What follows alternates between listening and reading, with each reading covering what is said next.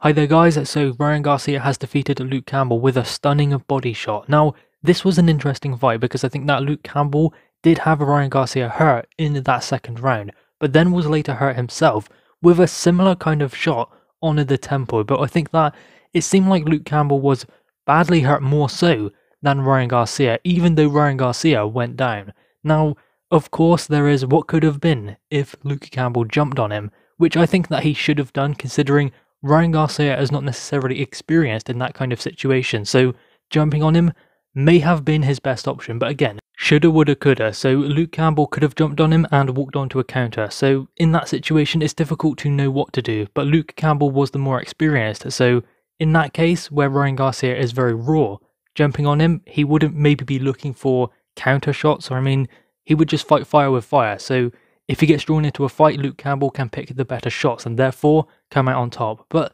that's not what happened. Luke Campbell was trying to stick to his boxing, go for the body shots, slow him down into the later rounds, and then ultimately he got stopped himself with a body shot. It was a good fight, very interesting, back and forth, but I think that Ryan Garcia shown that he's ready for this kind of level.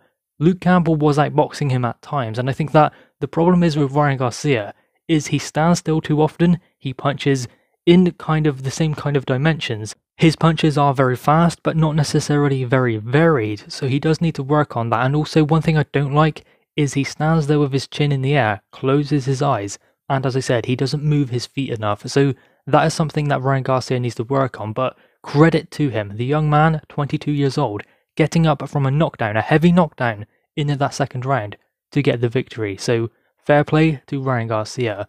Guys, anyway, what are your thoughts on this? Make sure you leave your thoughts in the comments below, leave a thumbs up, and a subscribe if you are new. Thanks, guys.